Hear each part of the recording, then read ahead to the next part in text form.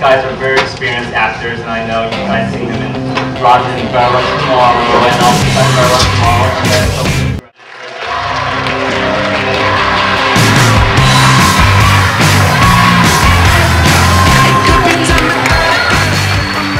Hi, my name is Sung Kang.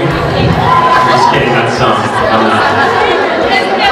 Um, it's not too often that you get to see like an Asian American woman, girl, or guy sort of being able to be that prominent in an American film. Like, I don't know about you guys. So what you need to do, if you want to be a part of this, is you gotta take a little extra effort. It is to go on YouTube, it is to go on the internet and find, you know, the independent filmmaker. My parents, you know, they immigrated to this country, and they worked so hard. Then I decided, you know, after college, I would be an actor.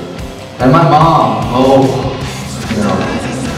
had a lot of conversations with Jesus. Why the Jesus?